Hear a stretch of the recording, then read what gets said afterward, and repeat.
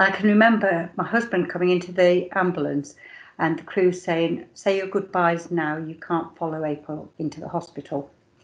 And from Stuart's point of view, he thought that this would probably, maybe, be the last time that he saw me. I was blue lighted into hospital, went into resus, where the staff were just absolutely fantastic and took over my care. The consultant came to see me and told me that if I needed to be resuscitated, they wouldn't do it because my lungs were in such a bad state. And I guess really that's when it hit home that I might not be coming out of this hospital.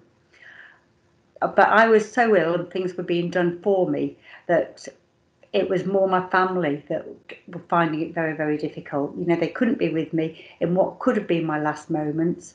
And I know there's many, many families that have been in that situation.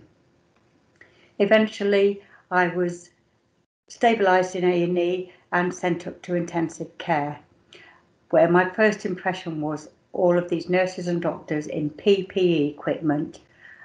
They looked so tired, yet they gave their all to everybody. Um, I was in intensive care for a few days before I was moved on to the ward where I stayed for another two weeks. While I was in the ward, I was in a four bedded bay and people were dying around me from COVID. And I'd lie there at night thinking, I wonder if it's my time tonight. Uh, fortunately, I'm still here, but it's only thanks to the skills of the doctors and nurses at the hospital.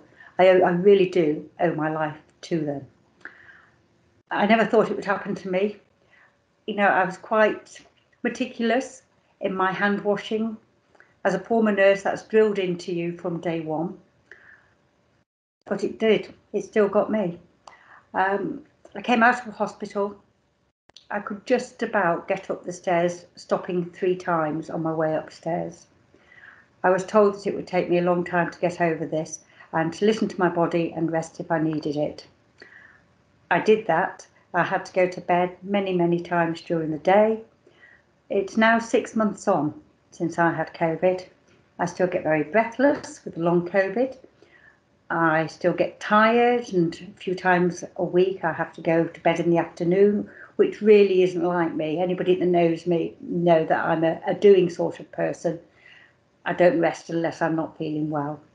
My taste can still be funny. So yeah, it's had a, a huge, huge impact on my life, but also on my family's life and what it must have been like for them not to be able to get in touch with me when I was in hospital at the most critical time must have been absolutely terrible. As I said, I was fortunate. The skills of the staff at Harrogate Hospital saved me, and they really, really did save me the I have to say the ancillary staff, the domestics and the porters, while I was at the hospital, kept me going.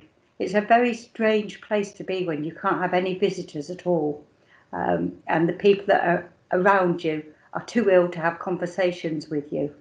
So they really did. They were my lifeline. Um, they told me what was happening in the world. So you know, I thank them from the the very very bottom of my heart.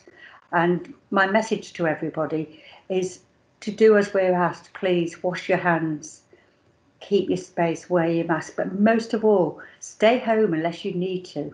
There's so many people out and about that don't need to be out and about. So please just stay home, keep safe. You do not want any of your family or yourself to go through this.